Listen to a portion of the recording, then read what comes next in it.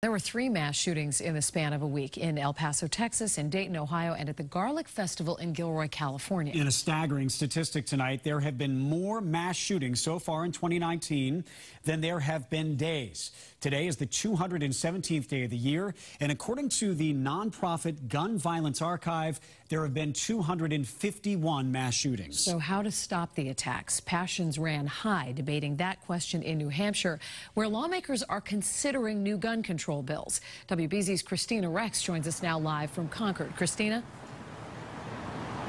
Hey, Lisa and Liam, it was packed and it was tense inside the legislative building here in Concord when a man brought a rifle to a gun control rally.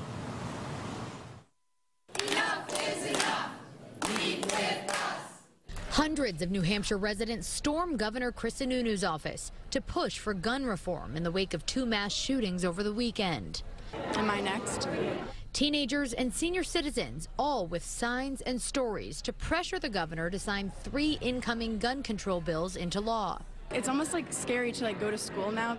The politically polarizing topic was no less controversial in Concord. So the reason that I brought this 12-gauge shotgun right here is in political protest. 21-year-old Brennan Robinson showed up to the rally with a shotgun. He believes the mass shootings in El Paso and Dayton over the weekend that killed 30 people were sad, but could have been prevented another way. I really hope that I was there. I would have shot the damn shooter. I would have tried to protect people, and I would have taken action. He stayed behind as the group walked to the governor's office, where they demanded a meeting with Sununu. Instead, they were met with a representative from his office who listened to their concerns. We know that there are several factors, many factors that contribute to gun violence, but at the top of the list is guns.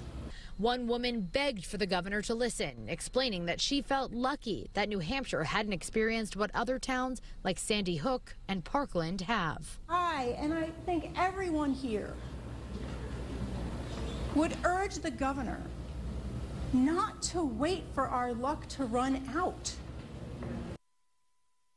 And we did just receive a written statement from Governor Sununu's office. He says he was horrified by the acts of hate and violence over the weekend. He also says to be mindful that mental health is a significant factor in these mass shootings, going on to write about how his administration has expanded mental health resources here in the state of New Hampshire, but not specifically addressing those gun control bills. Live in Concord, Kristina Rex, WBZ News.